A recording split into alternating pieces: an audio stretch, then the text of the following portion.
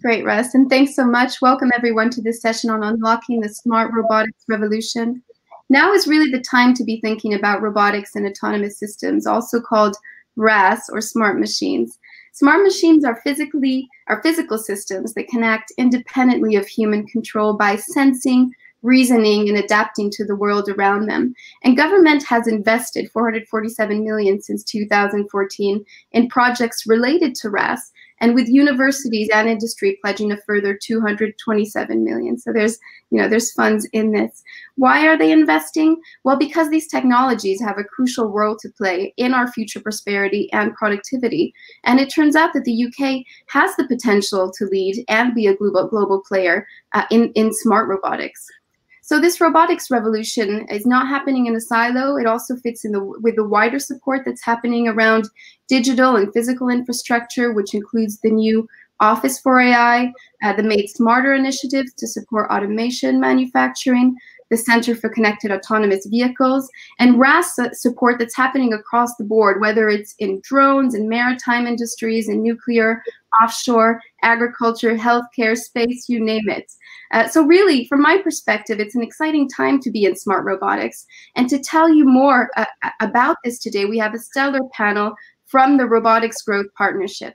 Uh, the partnership was convened by government in 2019 with members from both academia and industry. You can see some, some uh, aspect of that representation today. And our goal really is to put the UK at the cutting edge of the smart robotics revolution. So I thought we could start by having everyone introduce themselves briefly and tell us what they do uh, on a day-to-day -day basis. So maybe we can start with you, Paul. Sure. Um, I'm Paul Clarke. I'm uh, Chief Technology Officer at Ocado. Um, and um, we we really live at this intersection of, of sort of smart machines, um, you know, uh, AI, digital twins, and, and, other technologies, and and they they power you know our end to end fulfillment and logistic platforms that we're now selling around the world. So I suppose on a daily basis, uh, I lead something called the Office of uh, the CTO, and uh, we're focused on the, the sort of forward facing uh, edge of, of, what we do, particularly that outside of grocery. Uh, so moving all sorts of different kinds of atoms around in smart ways, hopefully.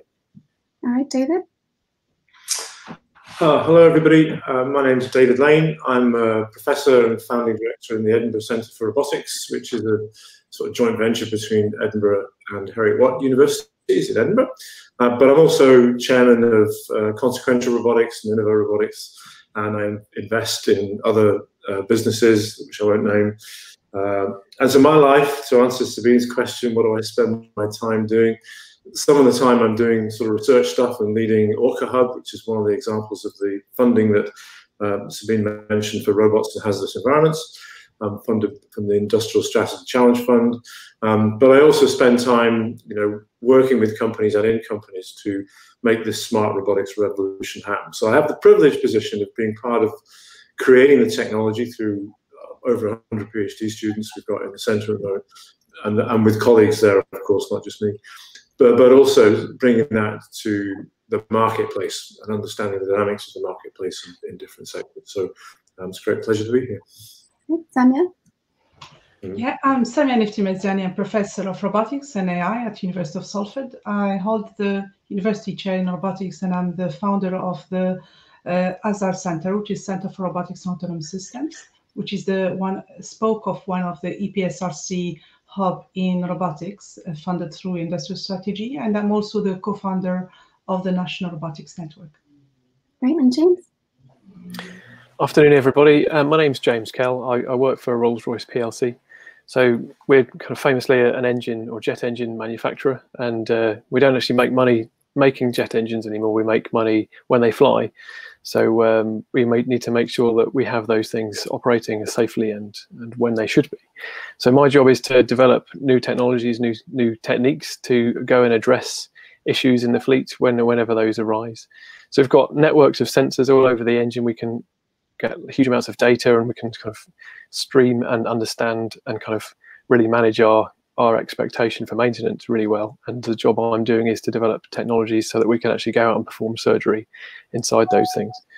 And because it's such a specialist task, it's uh, it's often we're looking at various kind of quite customized robotic type solutions. So I work with a whole host of universities, and we've making been, been making a lot of good use of the Industrial Strategy Challenge Fund uh, money to kind of perform those those activities and move the whole thing along. So I'm very keen to kind of make uh, best use of the the RGP, the Robotics Growth Partnership here, just to kind of push on the um, the UK base for robotics. So thanks for having me.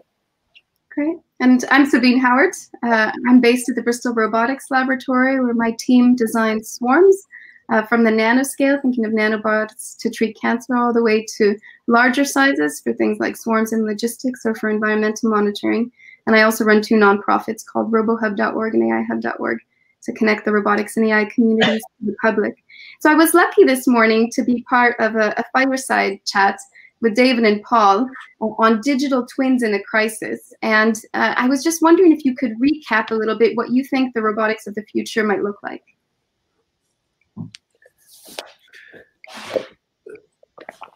I'll, I'll go. We've done this quite a few times now, I guess. We had a great session this morning. It was very interesting. We had good questions from everybody, both during the session and afterwards, quite thought-provoking ones. And, and really, I think what we were trying to get across was our own, our, the passion we both have for the potential of smart machines in the future. We've, we've heard, we're hearing examples from everybody this morning already, uh, this afternoon rather, of the kinds of things we're working on. Um, and we think there's much, much more to be done to make ourselves more resilient, more prepared for pandemic and other kinds of shocks to the systems of how, how we live. And so key to that I think, was that the way that we're able to work together in order to develop across organizations, across uh, startups, large companies, uh, uh, university research groups, catapults, in, in order to be able to design and develop and implement these, these, these advanced systems. And I think what Paul and I have collectively recognized is, is that we just don't have the right level of design tools and connectivity that allow us to go on the journey of starting with simulation, then moving to emulation, where you've got some hardware in the loop, you're using a digital twin in order to you know, try different variations of the, uh, of the, the, system you're working on. And then moves to a living lab, an environment where you can test safely, and then eventually out to the, the real world. And the, I think the things we were trying to get across were what the opportunity will be to develop some of this digital infrastructure as a as an open co collective commons of tools and APIs and middleware that will allow organizations to connect what they do in as open a way as, as they want to. And therefore I build community and resilience. Paul. How, how could things have looked different, Paul, if we had these digital commons in place and in the context of the COVID uh, situation? Well, I think those those companies like Ocado and Rolls Royce and and others who have these uh, this deep capability around uh, these kind of synthetic environments, you know, uh, and, and probably have certainly in our case, I know that we've been able to pretty much kind of carry on our research and, and innovation, you know, um, largely uninterrupted, but with people working from their homes, you know, using these environments you know that's great for us but what we need to do is make them much more available. And i think if we if we had these commons you know in place then we could start stitching together all of these different models so that they could uh, they could be built by lots of different companies with lots of different um, technologies including this open source initiative that that david alluded to um, in order to combine them into much more powerful models uh, because we don't want to turn this into some kind of mammoth IT project, which has to be kind of done as one one big bang, but rather we want it to be about crowdsourcing these different elements, but using the smart glue to make sure they they stick together and can talk to one another, and that the you know um, the, the the whole is much greater than the sum of the parts. And I think if if we had had that, um, and we uh, uh and the the this kind of digital infrastructure in place, we could have probably you know, responded much more effectively, um, you know, in terms of coming up with uh, new smart machines um, to help us. But also, you know, going back stage further, if we had the smart machines woven into our everyday lives, then they could have uh, been a force for good to help us, you know, with all sorts of things from manufacturing to, you know, delivering uh, important supplies uh, and going, you know, going into places where we'd rather keep humans out of in order to keep them safe. So um, I think we would have just been able to do, you know, a lot, a lot more, um, and therefore now the focus needs to be on how do we prepare ourselves, this resilience that David, David alluded to, in order not only to prepare ourselves for future kind of shocks, but also, you know, to harness the opportunities that these uh, technologies can can yield in terms of, you know, efficiency and and safety and and indeed the competitive advantage um, of the UK. And David, the, the crisis has brought to light the need for this infrastructure to be able to design new robots quickly and deploy them in these realistic environments. But how, how is this going to be useful beyond the crisis in other areas, maybe in SMEs or in startups? So I think you know that's a great that's a great question. In you know from the point of view of SMEs, those SMEs who don't have a strong robotics uh, activity, but who want to get involved in robotics could make use of this infrastructure to do that, to prototype the kind of robots they might want to use. They do some of this kind of thing already, but not enough. And so, you know, it's going to be one of the ways that we can bring uh, SMEs kind of along on the journey. And SMEs, of course, you know, they don't have deep pockets generally because they're not very big, right, by definition. So it's a big commitment for them to get on board with something as, as big and meaty as, as this. And the, the hope is that by having this connectivity between researchers and other companies, you know, it's something that will actually lower the barrier to adoption uh, in SMEs. That's the vision. So it, it begs the question of why this hasn't happened already. What do we need in terms of leadership uh, to make this type of smart robotics transformation uh, be, become a reality? Uh, so maybe Paul or David, if you want to chime in. So I'll have a go at that. I, I, I think the starting point for me, for me certainly, is is around vision. You know, I, I think we need to build a properly, you know, big, bold, holistic, compelling vision. You know, um, for what this smart, prosperous, equitable, efficient, sustainable, now resilient UK needs to look like. Because without that, you don't kind of know where you're headed. You know, and so that I think is the first thing. We need to need to make sure we know what it is that we're we're trying to build, you know, with this technology and and you know how it fits with you know us as human beings, and uh, and then you know armed with that, I think we have an amazing opportunity uh, in the same way that you know my business, uh, you know, Ocado has has uses itself in terms of what it does in the UK to develop technologies that then it can sell you know, as part of our platform business around the world. Well, I think the UK can do the same. We can use the UK as a petri dish. We can use we can you can use all this these technologies to, to you know to help transform the UK, and then on the back of that, as well as you know improving you know our lives and our productivity and and so forth, we can create new products and services that hopefully we can sell around the world. And I think that's that's the uh, the big opportunity we have. It's it's bigger than just if you like what we can do here in the UK, and I think that really is about you know vision. It's about leadership. It's about you know seeing the sense of the possible of what we can do here, and then you know supporting uh, you know this sector, but also you know our, our, our friends in terms of you know the AI and as you say, made smarter in order to work smartly together. So that's that's the vision. Uh, but how do we make it happen on the ground? Maybe Samia, can you help us walk through some of the, the enablers that could allow uh, robotics to flourish in the UK? Well, to make robotics happen in the UK, we need not only to tackle the technical aspect, which is of RAS that that we know, but also the. I think it's it's more important to have the, the supporting infrastructure uh, which goes with it, including regulation, standards, innovation, you know, investment, testing facilities, demonstrator, and uh, skill development, which is really key as well.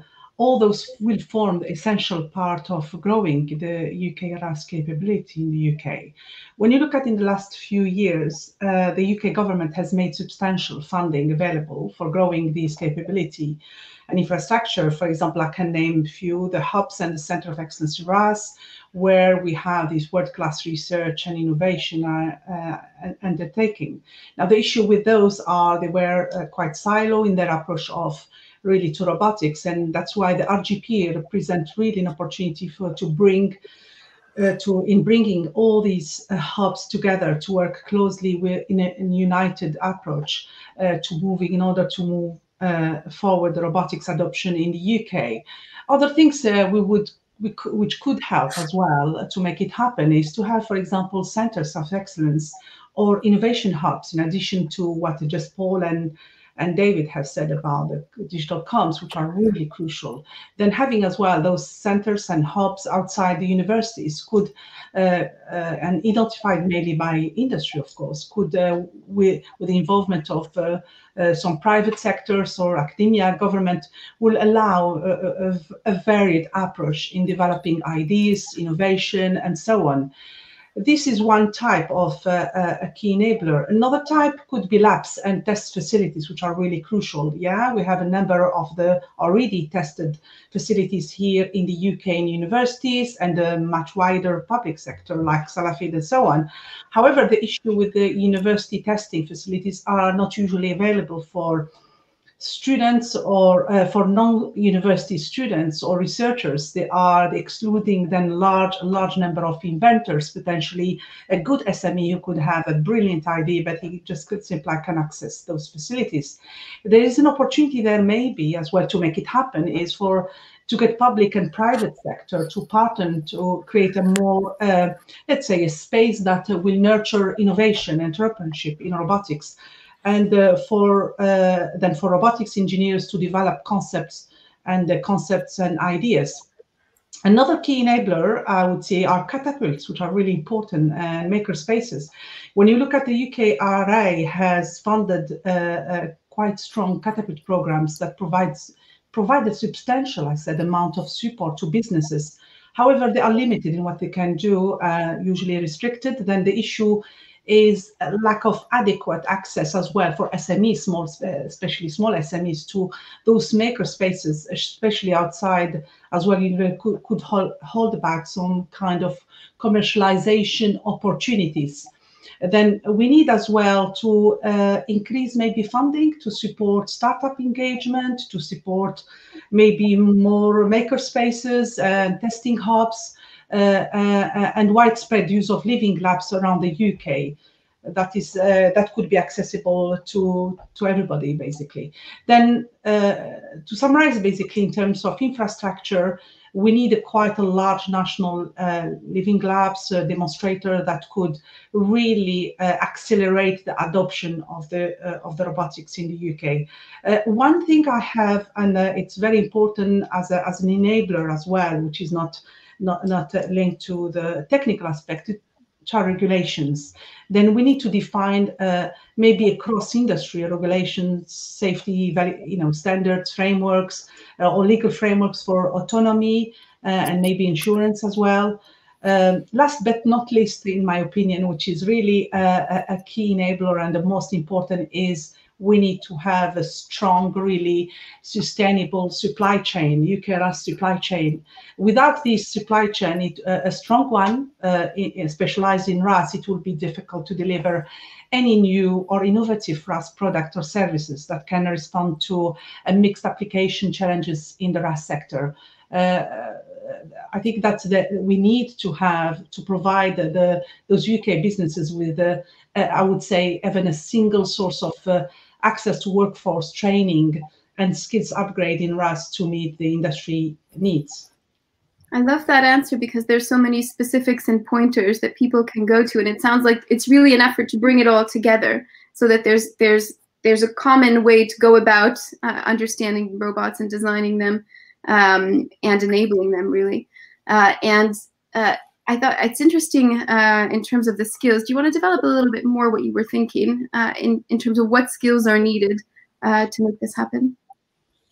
Okay, then uh, as I said, skills is a key enabler to, to make the robotics happen in UK. Whilst there are some universities, of course, already offering some courses, undergraduate or postgraduate in robotics and artificial intelligence, the UKRI has as well, I think in the last, let's say, four or five years, made substantial investment in training uh, or maybe eight years, apologies, yeah, in uh, funding CDTs, uh, which are incredibly uh, useful and important to develop and train the UK capability, uh, academic capability in specialized aspect of robotics.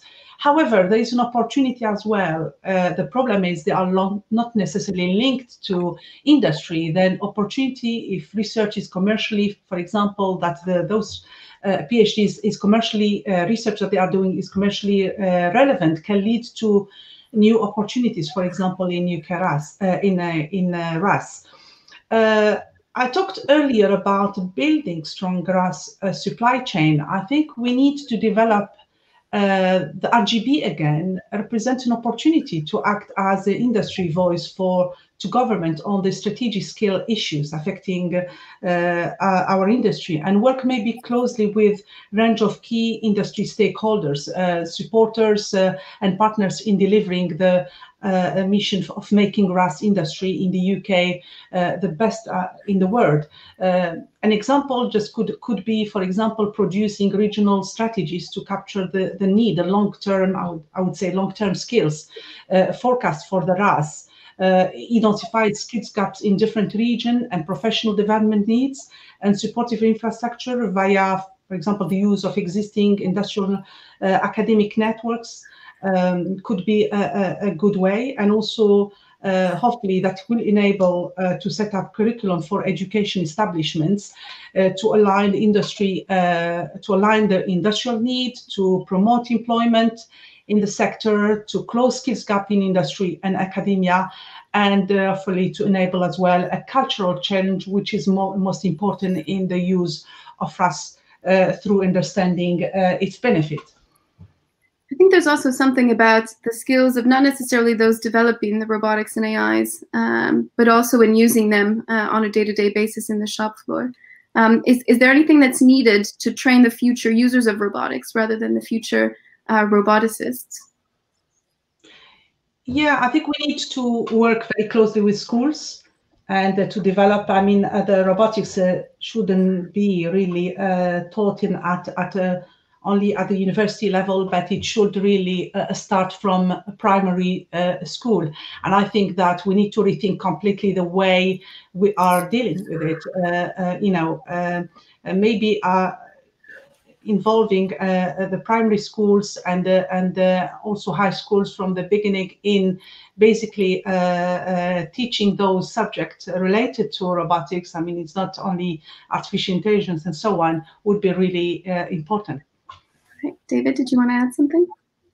Yeah, when we talk to industry about this problem of skills or challenge of skills, what we hear is that there are really very few opportunities for apprentices, and maybe you know, James will talk about this from the Rolls-Royce point of view, a very strong culture of apprenticeships.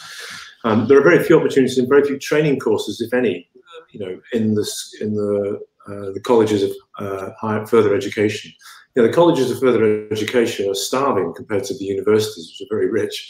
And, and there's a real need to you know, have NVQs, for example, where people can go and recognize courses. And the catapults are doing that to some extent, but they, they, they, they can't do enough of it. And it needs to be something more um, leveling up across the country, and the colleges of further education are the way to go. So we hope to work on that in the RGP. Yeah. Um, James, maybe you can help us understand what we can do so industries feel like they can adopt the technology. What is what is their pipeline uh, to go from something that looks like it's research based to actually having it deployed within their company? Yeah, I guess for me, a lot of this is about publicity and visibility, and I suppose in some ways perception as well. But that's that's a, a kind of another point, really. I think that you you um, want to raise. But um, I think really it's a, it's about just kind of for us in, in, in the business world, we're, we're all kind of going our heads, heads to the grindstone working on an issue. And we need to remember, or I suppose the robotics community needs to remember or be aware that actually the people in, in industry, big, big kind of adopters potentially, they don't really care about the robot. They care about a thing being done.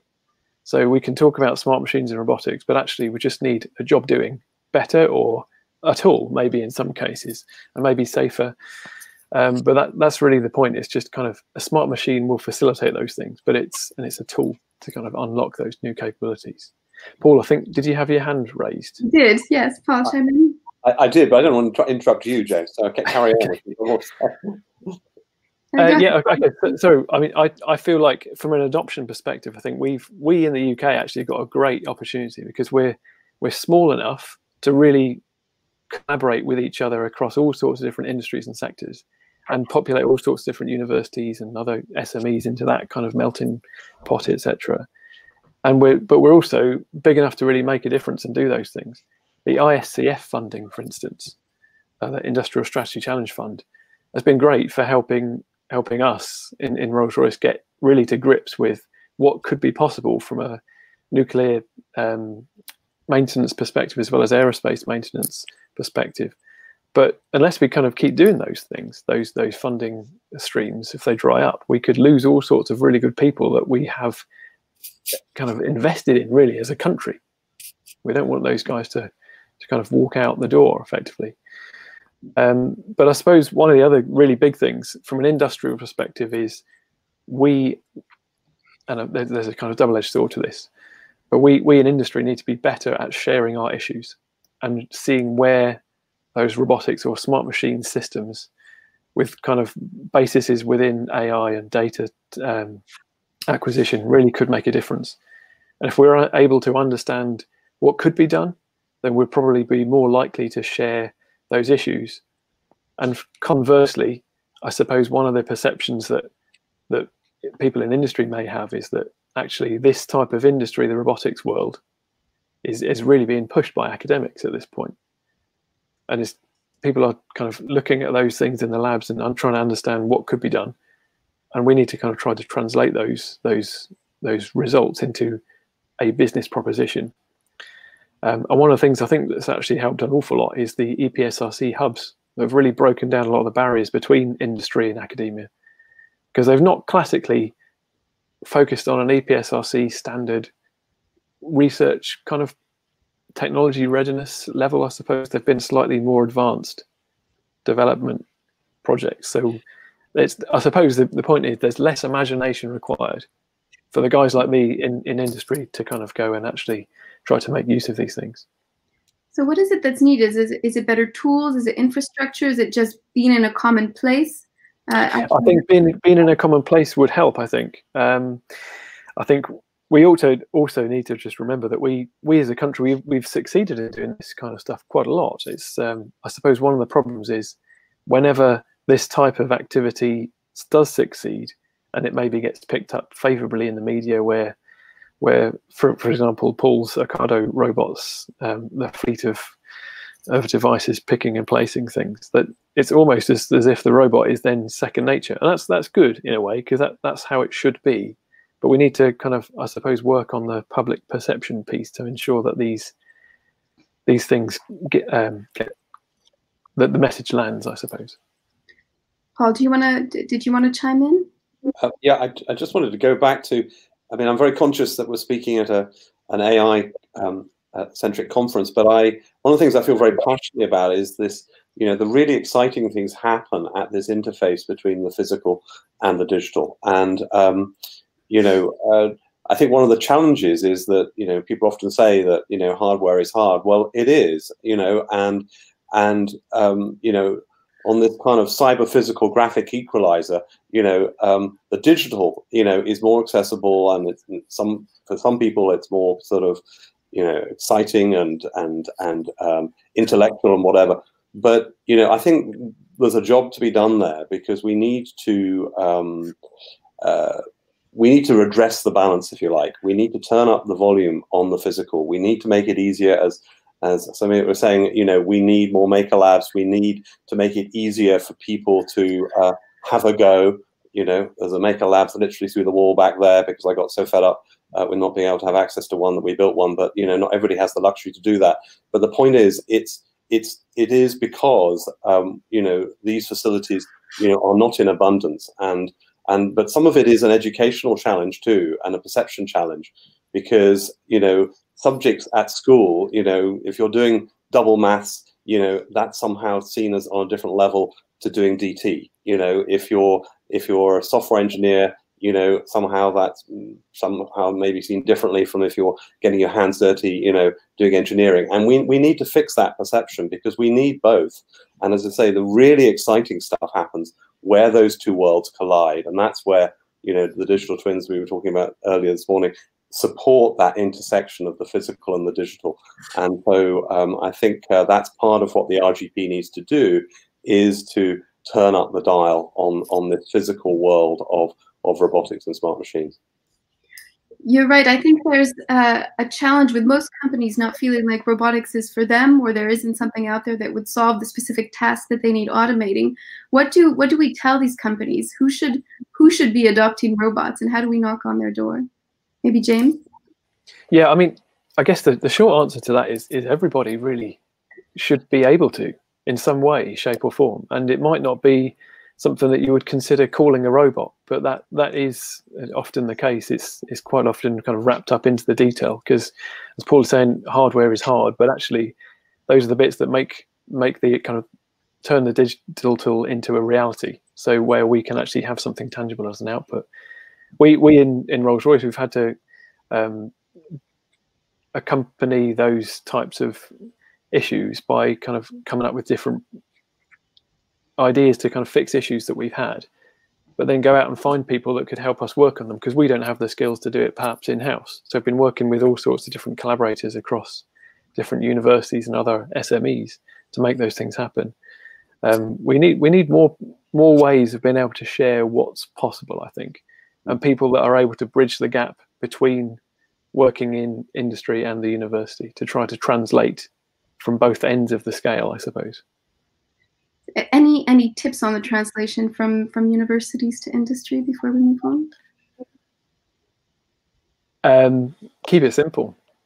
I guess context is everything. We're providing different examples and maybe for the academics reach out early on in the process so they don't end up with with a product or an idea that no one actually wants uh, so it's, it's probably a lesson that people know but that we don't put in practice when we're actually trying to do it ourselves uh, may, maybe I'll jump in here. We've actually been thinking about perception for, for quite some time on my side. Uh, one of the biggest challenges that we face, I think, is that most people don't interact with robots uh, every day in their lives or in their workplaces. And as a result, perception is largely driven by news headlines that are sometimes a little bit hype or, or science fiction. If you watched Black Mirror, uh, that's the thing of my existence right now when I say I'm a swarm engineer. Uh, there's also quite poor awareness overall about some of these technologies. So, for example, a report from the Royal Society showed that only 10% of the UK population knew the term machine learning, for example. And these are going to be core to the things that we're discussing uh, today. So I, th I, think it's clear that if we want people to adopt uh, robots in their homes, if we want industries to consider them in their workflow, uh, flow, if we want workers to see them as useful tools, uh, we're, going to need a change of, of, perception so that they see these as the go-to uh, when they're looking at a task to automate or to streamline. Um, the way this happens, I think, I think there's different ways we can make this happen. One is by having real people tell us stories about how their robots have been useful. Uh, so we recently ran a use case study uh, with firefighters, people who work in warehouses, and workers who do bridge inspection, asking them whether they thought swarm robotics would be useful for them. And we had gone in thinking that they would think this was a crazy idea. Um, but it turns out when you ask people about their day-to-day -day work life, they can imagine it. And all of a sudden, ideas of things that could be automated pop up. And all of a sudden, they actually do get excited. So we had a lot of positive vibes, which we were encouraged about. Uh, but a lot of what they were saying was, yes, this is great, but. And the but was, but if it's reliable, but if it's easy to use, but if it's not too expensive. And I think it's really understanding those different uses in which people might see the technology, um, which is going to be very beneficial. Because if we do then deploy these in their everyday lives, they're the ones who will be telling us the stories of how this was useful for them. Something that came out as well is that um, they thought these technologies were great as long as it was done to help them and not as a replacement for what they saw as their core expertise. So, for example, we were designing a firefighting robot thinking they wanted robots to extinguish fires, but that was their core expertise as firefighters. And so they'd much rather have robots to help them gather information. But if we have these use cases in the more mundane robotics uh, and we tell stories about them, I think we'll be able to help people imagine how they could be useful on a more daily basis. The other thing I think that would be helpful changing is how we tell stories about robotics. Uh, so we're quite fortunate though that social media allows us to have direct conversations, a little bit like we're having now, uh, with industry, with with users, with the public, um, and it allows us, the researchers, the roboticists, to demystify some of this technology, um, and it allows us to listen as well to some of the needs uh, that the community might have, so that we're not all speaking in silos.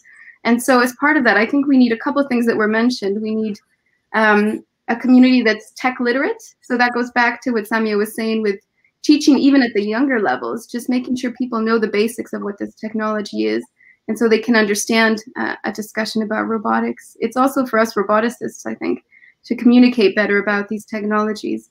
Um, and then it's it's about us all communicating through a common platform uh, so that we are actually not just talking in silos, uh, but sharing a common communication platform. And that's part of what we're doing uh, with RoboHub and AI Hub. So, so perception really it comes down to making sure that everyone knows about robotics, uh, what it's for, uh, and is empowered to use the technology. But there's still a lot of a lot of work uh, along that line. Does anyone have any comments about the perception side and how we can improve perception in robotics? Feel free to raise your hand. I, yeah? I think. Uh, sorry, James, David. I, I, expect we're not going to say the same thing. Um, I think from a use case perspective, I think we've got a great example coming up at the head of all of these ISCF projects. They should be reaching a, a good conclusion where we should have some really exciting demonstrations of new capability.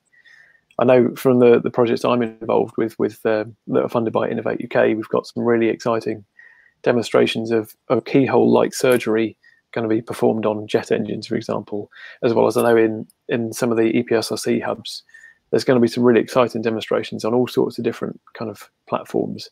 So these are kind of use case oriented demonstrations that we ought to be able to write some kind of um, piece about that should help with that publicity um, aspect, I imagine, or at least hope. Sorry, David, I jumped in. Yeah, David, that's great.